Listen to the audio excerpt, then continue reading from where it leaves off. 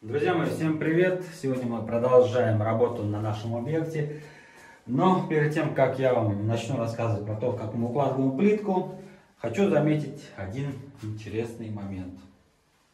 Видите? Спецовка порвалась. Печально. Но не об этом. Вот смотрите, керамогранит размером 60 на 60. Визуально мы себе представляем такой размер. Но но, как оказалось, мы глубоко ошибались. Размер данного керамогранита не 60 на 60, а 59,3 по высоте и 59,4 по ширине.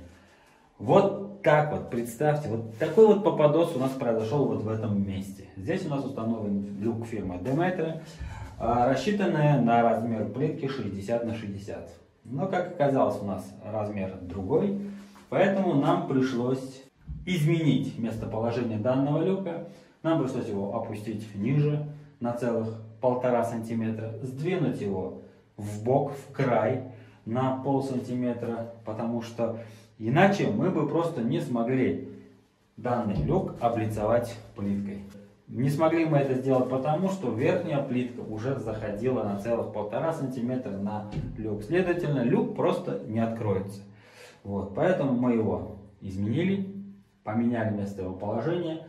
Это сделать несложно, это можно сделать очень просто, если вы знаете технологию, знаете процесс, все это делается без всяких там проблем. Вот, ну в общем смотрите, а, размер люка до метра сейчас у нас вот от этого края и вот до вот этого края он у нас идет 59 и 4. Мы его сделали таким расчетом, чтобы мы спокойно могли приклеить плитку сюда.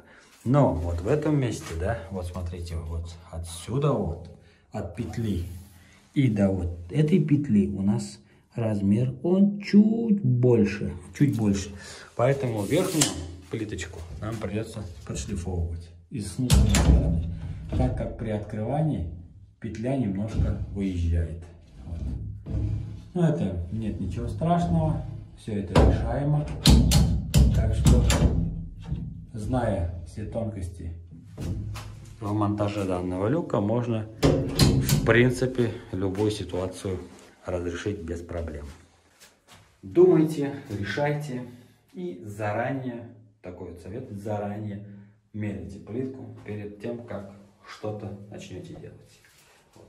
Это называется профессиональная невнимательность. То есть мы уверены в том, что размер плитки такой, такой же, как и на упаковке, в итоге получаем большую разницу от того размера, который мы рассчитывали. На данном этапе сейчас я занимаюсь облицовкой данного короба.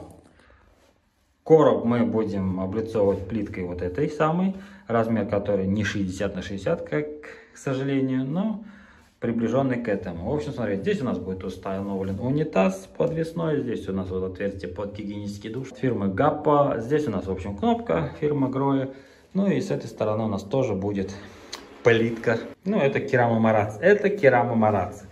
А для сцепления плиток между собой мы будем использовать систему SVP 3D крестики, для того, чтобы плоскость у нас, вот эта вот плоскость между плитками всегда была отличная.